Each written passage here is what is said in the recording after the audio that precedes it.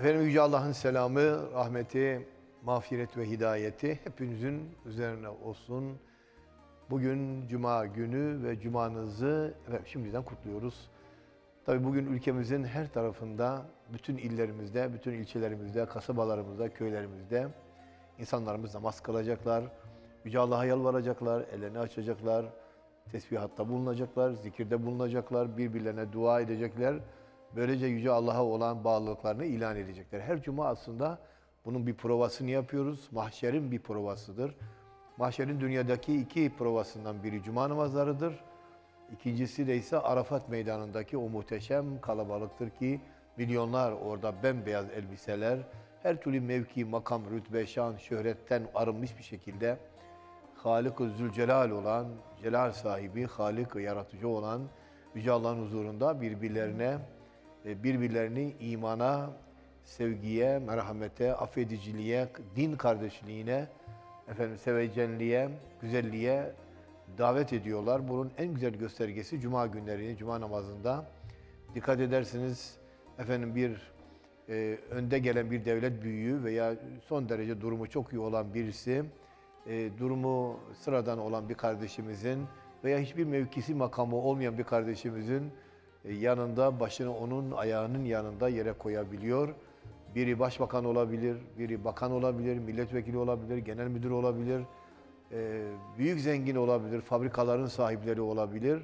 Ötekisi de e, bir kardeşimiz olabilir. Yani normal bir e, sıradan görevde olan bir vatandaş olabilir ama biri önde, biri arkasında olabilir ve ön ve arkasında olan kişi bu üstün, bu üstündür diye bir e, gösterge yok.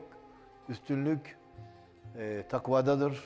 Takva nedir? Allah Allah rızası için günahtan uzak durmaktır. Allah için günaha e, ara vermektir. Takva nerede? Belirtisi, belirginliği nerede? Ya namaz, oruç, zekat, hac takvanın göstergesi midir? Hayır. Müslümanlığın göstergesidir. Takva ayrı bir şeydir. Takva nedir? Samimi bir ihlasla imanı yaşamaktır.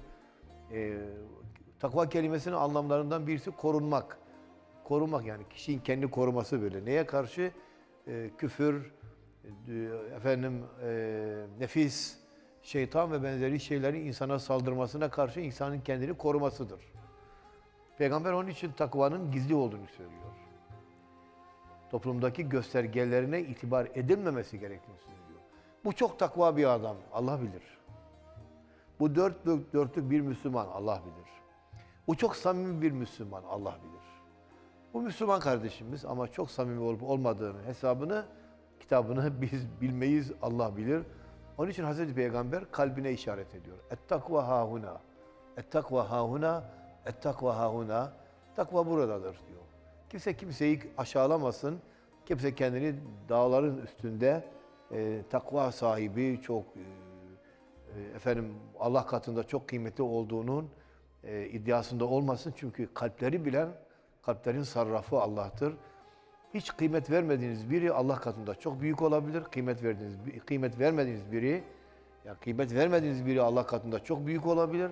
Kıymet e, verdiğiniz biri Allah katında sıfır olabilir.